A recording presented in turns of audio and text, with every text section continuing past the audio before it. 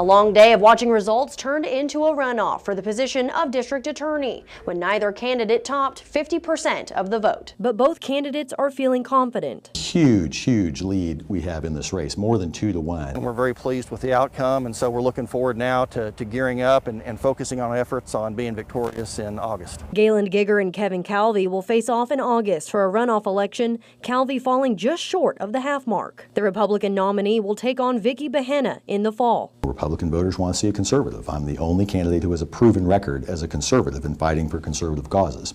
Geiger, the county's assistant district attorney, says he feels confident he'll claim victory, given his track record of successfully prosecuting cases for decades in Oklahoma County.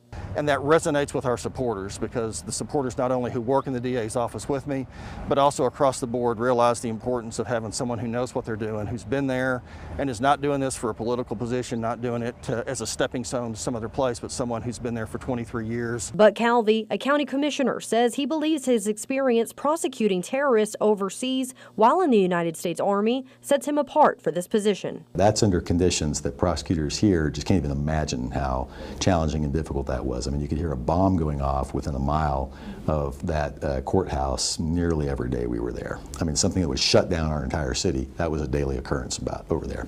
So uh, having successfully uh, according to the Army, uh, prosecuted uh, over there, um, you know, prosecuting here will uh, be something I'm more than capable of handling.